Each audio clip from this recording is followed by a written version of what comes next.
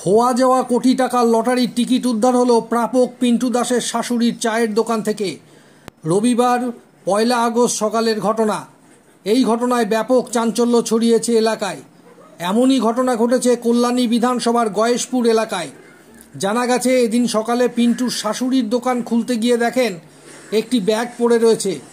তিনি সঙ্গে সঙ্গে ডেকে আনেন পাশের বাড়ির বাসিন্দা ডাক্তার বিপুল বিশ্বাসকে। তিনি ব্যাগটি খুলে দেখতে পান, তার ভেতরে রয়েছে একটি লটারির টিকিট ও অন্যান্য কিছু নথি। খবর দেওয়া হয় কল্যাণী থানায়। পুলিশ গিয়ে উদ্ধার করে সেটি। এখন সেই কোটি টাকার লটারির টিকিট রয়েছে পুলিশের হেফাজতে। প্রসঙ্গত উল্লেখ্য, গয়েশপুর আদিবাসী পাড়ার বাসিন্দা পিন্টু দাস ষোলোই জুলাই শুক্রবার বিকেলে লটারির টিকিটে কোটি টাকা পান। আর তারপর থেকেই তার কাছে নানাজনে টাকার দাবি করতে থাকে।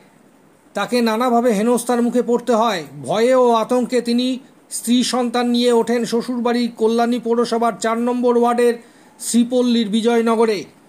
শনি রবি পরপর দুই দিন ছুটি থাকায় সোমবার, আঠারোই জুলাই ব্যাংকে যাওয়ার কথা ছিল তার।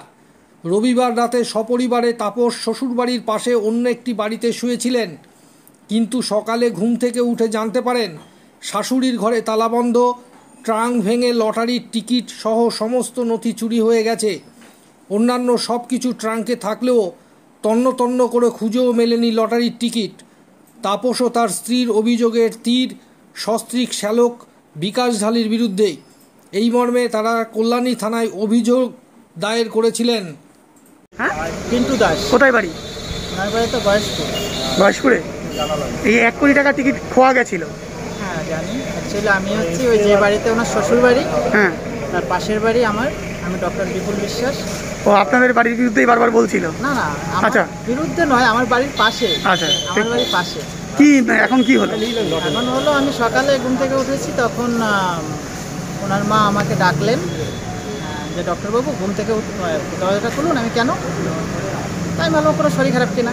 বলছে না আমাদের বাড়িতে একটু আসুন। তখন গেছি। উনি বললেন যে আমার দোকানে একটা ব্যাগ পাওয়া গেছিল। আমার দোকানটা নাকি ভাঙাচোরা সাইড দিয়ে রাখা যায়। তো ব্যাগটা আমার পরিচিত না অপরিচিত। কারণ আমি কিছুদিন আগে ওনাকে বলেছিলাম যে আপনার দোকান বা বাড়ির পাশে টাশে আপনাদের অনেক কিছু ক্ষয়ে গেছে তো অনেকে রেখে যেতে পারে একটু লক্ষ্য রাখবেন। তো উনি বলছেন যে ওটা পেয়েই পাশের দোকানদারকে ডাক দেন ওনার নাম স্বপন। স্বপনবাবু আসে দেখেন যে একটা ব্যাগ খোলেন ওটা দেখেছে। সঙ্গে সঙ্গে ওনাকে বলছে আপনি কি বাড়ি চলে যান। কি দেখেছে? ওই টিকিট কোন টিকিট এই যে টিকিটটা খোয়া গেছে উনি তো নাম্বার জানে না। দেখো একটা একটা খোয়া মানে ব্যাগ পেয়েছে দোকানের সাইডে না ভিতরে। তখন পাশের দোকানদার স্বপনদাকে যখন ডেকেছেন স্বপনদা বলছে যে খুলেছেন খুলে দেখে এই জিনিস সেটা কোথায়? ওনার চায়ের দোকানে। সেটা কোন জায়গা এটা? ওই ওনার চায়ের দোকানটা হচ্ছে ওনার বাড়ি থেকে একটু সামান্য দূর ছিল আচ্ছা। তো তারপর ওখানে আসে আমাকে ডাকেন আমি আমাকে দেখাতে চাই আমি দেখলাম আমি তো জানি না টিকিট নাম্বার টাম্বার ওনার ছেলেকে ডাকলাম ওনার ছেলে বলল হ্যাঁ স্যার এই একই নাম্বার। তখন ওনার ছেলে মানে কি? ওই বিকাশ বাবু। হ্যাঁ? বিকাশ বিকাশ। যার। নামে উনি কি করেছিলেন। আচ্ছা।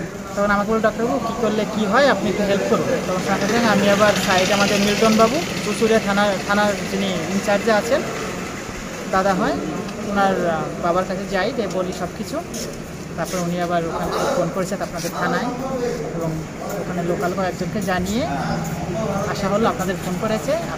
এখন এখন কি থানায় নিয়ে আসা হয়েছে ওনাকে? হ্যাঁ, থানা থেকে- সিকিউরিটির জন্য? হ্যাঁ সিকিউরিটির জন্য। মিল্টন থেকে বলা হয়েছিল যে আমরা এগুলো কিছু জানি না।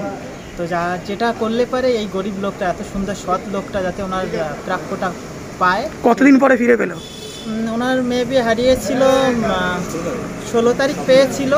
সতেরো না আঠারো তারিখে রবিবার হারিয়েছিল। আজকে রবিবার পেল। প্রায় পনেরো দিন। হ্যাঁ এখন এটা থানাতে গেছে এখন আপনার নাম? আমার নাম ডক্টর বিপুল বিশ্বাস। শালা হবে। কি নাম? বিকাশ ঢাকি। এই বারবার তোমার বিরুদ্ধে অভিযোগ করছিলে তুমি টিকিটটা সরিয়েছো এখন কি দাঁড়াল? এখন তো টিকিটটা বলতে পারছি না টিকিটটা আমার মায়ের চায়ের দোকানে পাওয়া গেছে। মা সকালবেলা এসে আমাকে ঘরের দরজা শুয়েছিলাম তো দরজা থাকতে বলল এরকম কেস তখন পাশের বাড়ির ডাক্তারটাকে আমি ডাকি। তো সেই সব ব্যবস্থা করছে। এখন কি টিকিটটা কোথায়? টিকিটটা এখন থানায় জমা আছে দিদি যাবে এসছে ওদের হাতে। সেক্ষেত্রে তাহলে কতদিন পরে টিকিটটা পেল?